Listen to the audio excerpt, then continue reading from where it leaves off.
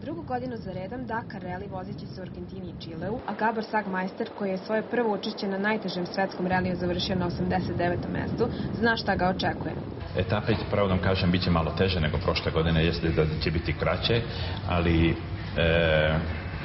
imat ćemo šest dana u Atakama pustinji, što je vrlo teško i vrlo naporno. E, prošle, e, o, prošlog Dakara sam imao 3-4 dana ukupno Atakama pustinje, tamo se vozio specijalo prilike 9 sati i to je vrlo naporno i ali sad sam već malo upoznat znači ima tamo dine što su visine 300, 400, čak do 800 metara i to treba ne viknuti, ali prošao sam već jednom, ja se nadam da će sad ove godine većom brzinom to proći.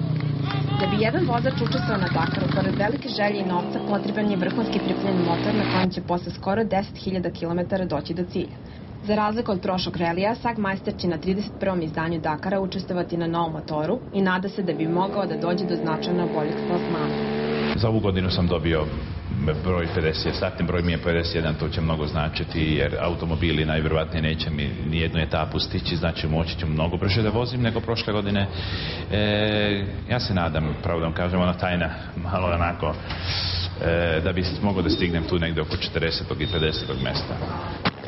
Iako se nada da će se na kraju relija 17. januara u Buenos Airesu naći među prvih 50, Sagmeister ističe da je ipak najvažnije da dođe do cilja.